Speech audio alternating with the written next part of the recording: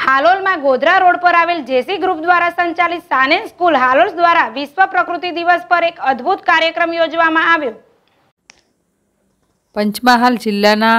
હાલોલમાં Godhra road ખાતે આવેલ school ખાતે વિશ્વ પ્રકૃતિ દિવસ ઉજવવામાં આવ્યો જેમાં સ્કૂલની સંખ્યા બરાબર કુલ એક હજાર બાવીસ જેટલા વૃક્ષો સ્કૂલના કેમ્પસની આજુબાજુમાં રોપવામાં આવ્યા હતા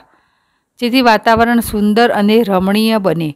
જેસી ગ્રુપના ચેરમેન સુનિલભાઈ દલવાડી દ્વારા યોજવામાં આવેલો આ કાર્યક્રમનો મુખ્ય હેતુ વાતાવરણને પ્રદૂષણ મુક્ત અને સુંદર બનાવવાનો હતો.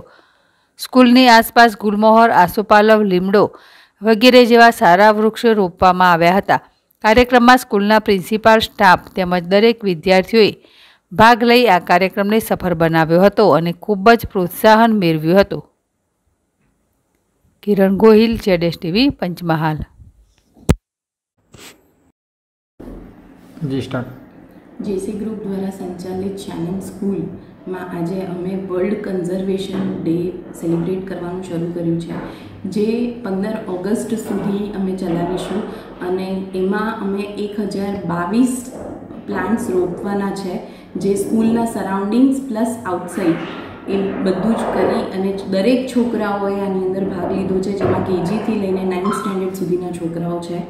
અને મારા ટીચર્સ પણ અંદર ઇન્વોલ્વ છે જે વર્લ્ડ કન્ઝર્વેશન ડે અને એનું પાછળનું હેતુ એ છે કે પર્યાવરણને સ્વસ્થ બનાવવાનું થેન્ક યુ જી આપનું નામ Bindu Nair principal Shannon school जी वर्ल्ड नेचर कंजर्वेशन डे 28 जुलाई को हर साल हम यहाँ पे मनाते हैं ताकि हम अपनी प्रकृति को हरा भरा रख सकें इसी उपलक्ष्य में वृहद वृक्षारोपण का कार्यक्रम शैनन स्कूल हालोल द्वारा आयोजित किया गया। जिसमें हम लोगों ने एक हज़ार बाईस वृक्षों का संकल्प लिया, जिससे हम अपने धरती को हरी भरी बना सके। इस उपलक्ष्य में हमने ये कार्यक्रम 15 अगस्त तक के लिए कार्यान्वित करने का प्रण लिया है, जिसमें हमने यहाँ के आसपास का जो शैनन स्कूल के आसपास का जो हिस्सा है उसे हम हरी हरा भरा बनाएँगे एवं साथ ही यहाँ के जो वृक्षारोपण कार्यक्रम है, उसमें जन सहयोग के द्वारा मतलब हालोल के जितने भी सदस्य हैं, जो हालोल के जितने प्रतिष्ठित व्यक्ति हैं, हालोल के जो जन सामान्य व्यक्ति हैं, उन सारों के सहयोग से हम ये वृक्षारोपण का कार्यक्रम करेंगे।